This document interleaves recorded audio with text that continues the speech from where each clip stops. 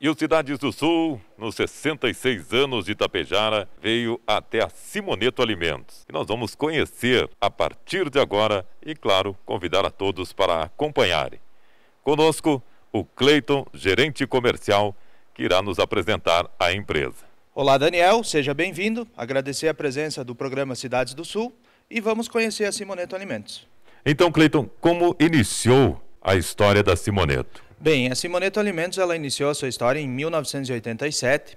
Seu Gilberto Simoneto é um dos sócios proprietários até hoje da empresa e vem evoluindo desde então, crescendo, ampliando, diversificando. E hoje ela é voltada exclusivamente para o mercado de candies, onde a gente produz gomas, caramelos, balas, pirulitos, que são distribuídos tanto no Brasil quanto no mercado exterior. Então, Cleiton, uh, nos fale sobre o processo de produção. Bom, a gente prima sempre por produtos uh, desenvolvidos com matérias-primas de excelente qualidade. A gente tem todo um controle dos nossos fornecedores, quais as matérias-primas que eles nos fornecem, para que a gente sempre possa levar ao consumidor produtos de excelente qualidade.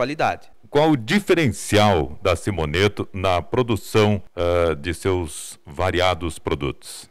Eu te diria que um dos nossos diferenciais é o carinho com que a gente trata todas, todo, todos os nossos processos, todos os nossos colaboradores, e isso traz como resultado um produto de muita qualidade mesmo. Todos os nossos consumidores que a gente tem a oportunidade de ter contato nos uh, elogiam sempre, e isso é motivo de muito orgulho para nós. Hoje, uh, qual a produção diária ou por hora da Simoneto? São diversas linhas de produção. A, a, capacidade instalada hoje da fábrica é na faixa de 2 milhões de quilos por dia. Basicamente, hoje nós estamos trabalhando em dois turnos, turno da manhã e turno da, da tarde. O turno vai até as 10 horas da noite. A madrugada, digamos assim, ainda é, um, é uma reserva que a gente tem né, para continuar auxiliando na nossa expansão aí nos mercados que a gente ainda está abrindo. Simoneto, sem dúvida, buscando sempre inovação tecnológica. Uh, qual foi a última uh, a ser adquirida pela Simoneto aqui, que a gente pode falar para os nossos telespectadores?